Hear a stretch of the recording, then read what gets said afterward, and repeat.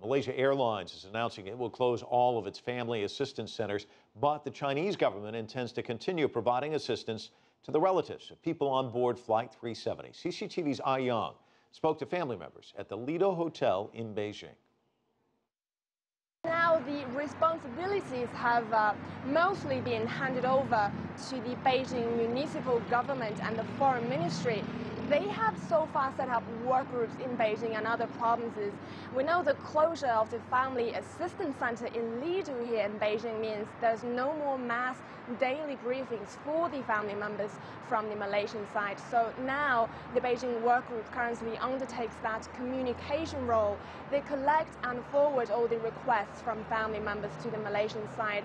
However, Steve today told me that with the assistance, uh, the, with the assistance center gone and new personnel put into charge all of a sudden, he feels it's very inefficient uh, with the way how things are being communicated right now.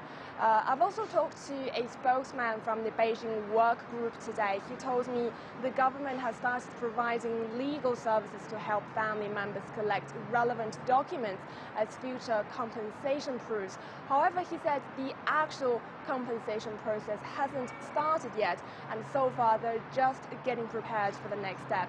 And according to media reports, some analysts have predicted that the Malaysia airline may end up paying as much as 1.5 billion US dollars of compensation, which is three times of their last year revenue.